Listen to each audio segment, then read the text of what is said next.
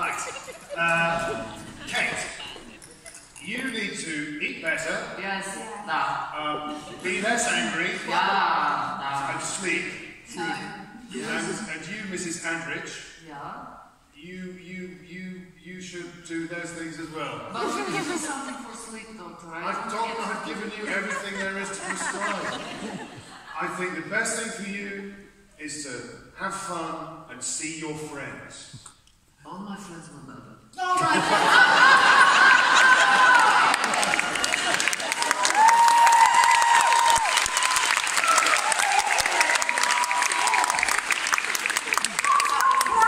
that was a little bit of you got right here. I just we needed, all my friends.